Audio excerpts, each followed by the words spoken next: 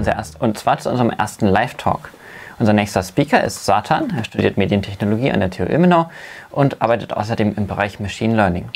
In seiner Freizeit beschäftigt er, sich mit Assembly Script und ist dabei auf die Zeitzonendatenbank der IANA gestoßen. Und was er dort gefunden hat, das erzählt er uns jetzt. For English-speaking viewers, there's a translation. To uh, listen to it in the web player, select Language Selection and then translate it. Und jetzt Bühne frei für Satan. Dankeschön. Hello, back at uh, Studio now. It's our first live talk. Our speaker is called Satan. He studies at the university in Ilmenau, and in his spare time, he is interested in JavaScript and other things. This is the translation by Caste, maybe Celeste. We look forward to your feedback on hash C3 Lingo Enjoy the talk. Welcome to my talk. My talk is about the time zone database and why you definitely shouldn't be implementing them yourself. So first of all, this is what I want to talk about. In the beginning, I want to do the general information on the IANA time zone database and the main things that I and then I will show you examples and uh, usage in order to show you what you can do with it. So in general, the IANA time zone database is published.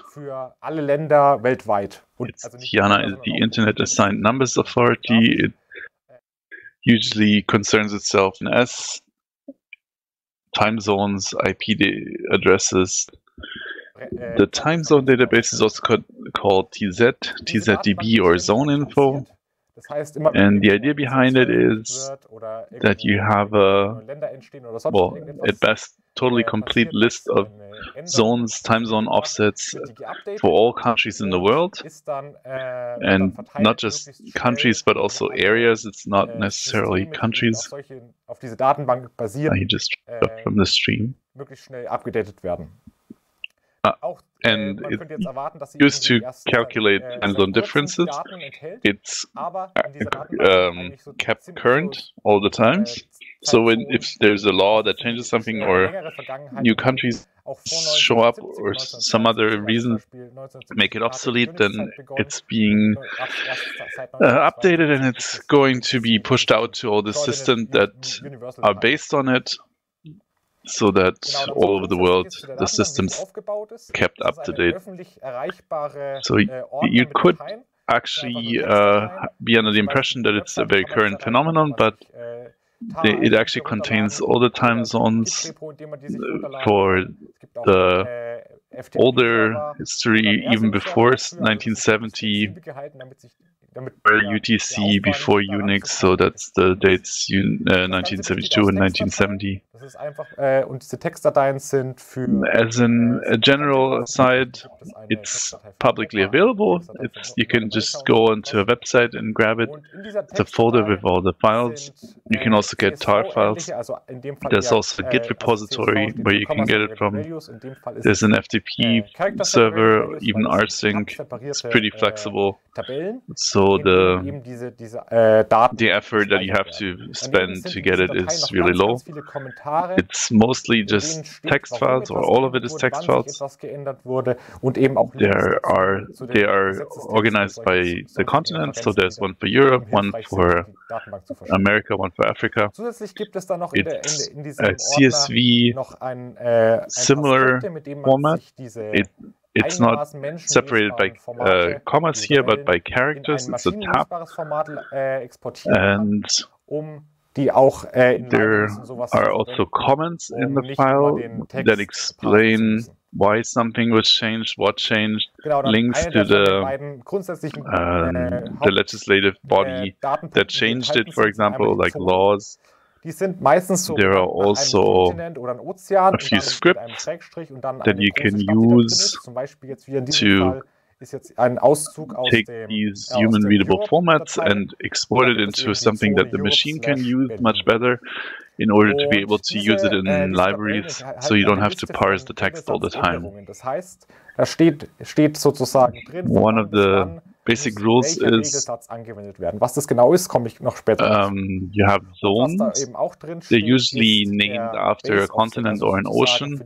Then you have a slash and then a major city. Äh, so in my excerpt that I'm showing here, this is Euro Berlin. Eben, äh, dieses, dieses this is the name of the zone. Und diese Format-Spalte ist so der ein Name These files contain a list of rule set changes. S, aber da that means it shows you when there is a change, what äh, you have to use before and after. Jede Zeile ist, It also gives you the base offset. eine Regel, wann irgendwo sich That means- Und ähm, It's it's the basic offset that all of the areas within that zone all have in common.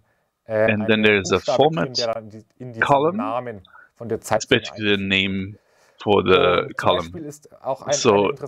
Here you can see the percent Äh, S. diese I'm gonna talk about that later. Wechsel auf Sommerzeit und Wechsel The second thing are the rules. zwei unterschiedliche Regeln gibt. Those are complete sets of rules. äh, Every line die- sich die- is a der Wechsel auf rule when the offset ändern als der changes. Wechsel auf die Sommerzeit. Und jetzt kommt What it also contains is, äh, if you look at the last column, it, it says kleinen Beispielen, die letter ich euch zeigen werde, um sozusagen die, die That column wie das Ganze aufgebaut ist, äh, is a is a Und ab letter that's being inserted into the name anzeigen, when it's being applied. Tabellen, damit es ein bisschen besser lesbar ist. One interesting thing about it is Genau, das erste ist Zion. there Das are das two erste, different äh, sets of rules for äh, um, changing from ein daylight saving ist das time to normal time. gefunden habe, weil wir haben it means that the- sozusagen, um diese Um, äh, the move from daylight äh, saving time to winter time can happen more often than the other way around. Für einzelne Dateien. And Als ich dann das Parsing I want to now explain the syntax to dass use. eben an dieser Stelle, äh, So I'm not gonna show you the code anymore, but better format the table so it's easier to understand. So the first thing that Was ist diese we want to look at is Zion. bedeutet? Wir haben jetzt hier It's äh, In- und das The first interesting um, diese, area I found. I wrote my own parser äh, that took this human readable format. wann dieses Offset sozusagen and The Safe, in der Safe first steht, thing I did was. I Und wenn da tested it out for, 1 steht, bedeutet das, um, one rule at a time. aber maximal And this one failed here because it's only happened once. der erste Freitag im April Because it has this, oder bis zum um, if you look at the Friday, äh, column, the on column, it basically tells you genau eine dieser Stellen, die dann sehr, sehr schwierig zu implementieren It- ist, wenn man dann it rules äh, when this offset sozusagen, also Libraries dafür schreiben will. That is um, specified in the safe column. is being applied. ist eine Insel in If it says äh, fry dort gibt es zum smaller or equal than one, it means die haben eine when, Winterzeit, if, äh, the first Friday in April Daylight Saving von, von 30 Minuten. Das uh, falls into the second or the sixth, then we take the Friday from the month earlier. Und da sehen wir jetzt zum Beispiel diese größer That's one of those things that's äh, already very hard to implement oder kleiner gleich. i- Äh, if you want to use it later. So if you write your own library. im Monat ist, aber, max- And äh, this is the second minimal der erste. example. Das heißt, es ist einfach immer nur der This is Lord. Howe. This is an island in Australia. There Dann is a eine rule, interessante Sache, die ich gefunden habe, ist They have a- Friedenszeit. a daylight saving time im, äh, im of äh, US-Regelsatz 30 minutes. gibt es da äh, zwei That Regel, means äh, they always äh, switch between an offset of 0 Änderungen von den minutes and 30 minutes. 1942 und And it's a similar syntax to the one that we just looked at, but with greater or equal. Ein, diesen So that means W und P It's always the first Sunday und uh, in a month, but wird dann it, it has to be the first, so it can't be the month earlier. später noch mal dazu, dann So then there are other interesting things that I looked at. This is war and Was man da peacetime. zum Beispiel auch sieht, This is in the US rule set. in der To-Spalte steht dann Only. They have two rules. Diese, diese, dieser Wechsel findet Um, two changes of the, of the offsets. It was in mehr. Genau, was 1942 and da auch sieht, 1945. äh, in dem Add-Feld, in der, in So they changed the letter from. S Es gibt da so to kleine W äh, and P for war and peace. da hinten dranhängen. Da And gibt es zum Beispiel S, this für Standard. changes the time zone name. sozusagen der, wird der Base Offset aus I'm dem gonna talk about it later what ähm, that looks like in the in the name. aus der Zone verwendet. So you see here in the two column it says only. That means it only happens in just that one year. And what you can also see in the the add column, das heißt Volk there's a small u that is suffix. You can have äh, suffixes here. You have, for example, s. That means the base offset is taken from the zone. Dann it's also a G. That means that the time is being specified in Greenwich Mean Time. And here you can see U, that means it's uh, UTC. Or if there's nothing there, if there's W, that's the standard, then it means it's the wall clock or local time.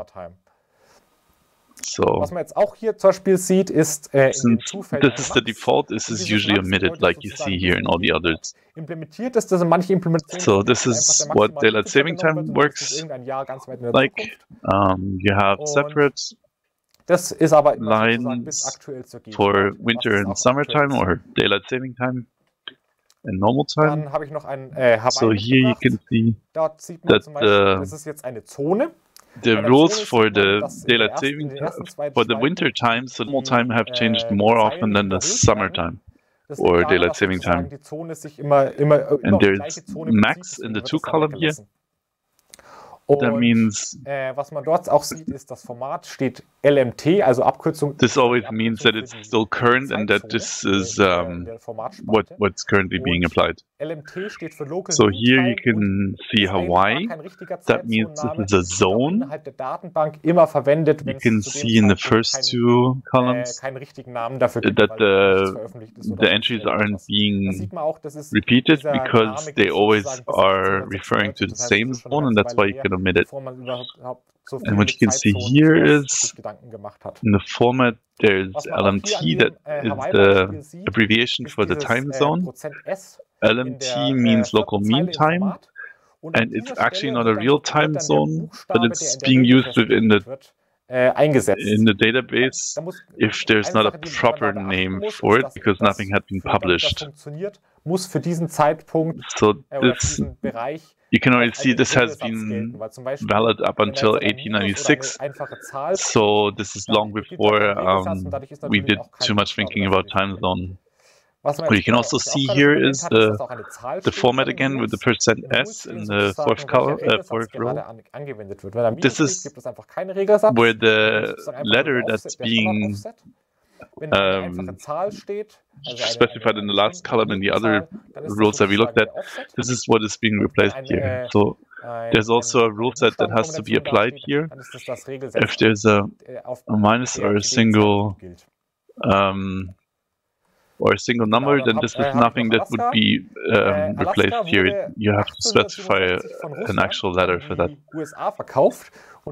And rules is, it shows you which is being applied. So the rule set that you should use, if there's a time, this is just the offset.